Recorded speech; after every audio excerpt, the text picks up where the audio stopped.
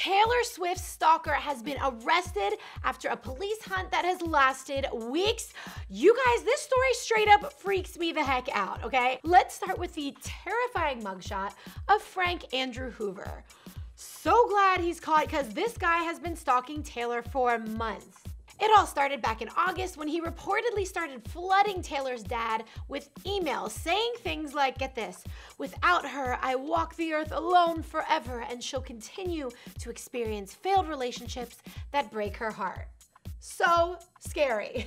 And then just a couple of weeks ago, Taylor was leaving a concert in Austin, Texas, and this guy followed her motorcade to the airport where her private jet awaited. Sources say he got within 25 to 50 feet of Taylor's car.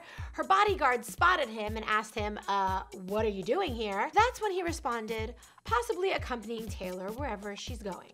Creeper, hello. Okay, so ever since that incident, the police have been on the hunt for Mr. Hoover, and finally at 3 p.m. on Thursday, they found him and arrested him. So there's a little bit of silver lining here for Taylor.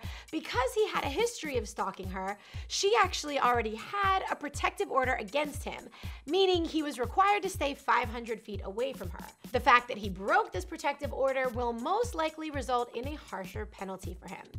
Unfortunately, this isn't Taylor's first brush with the stalker situation.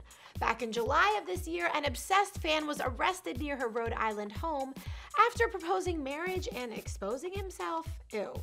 And even way back in 2014, she had a stalker who actually believed he was married to her. Ugh, I said it in the beginning, this stuff straight up freaks me out. If it were me, I'd be following the Kardashians' lead and beefing up my security majorly.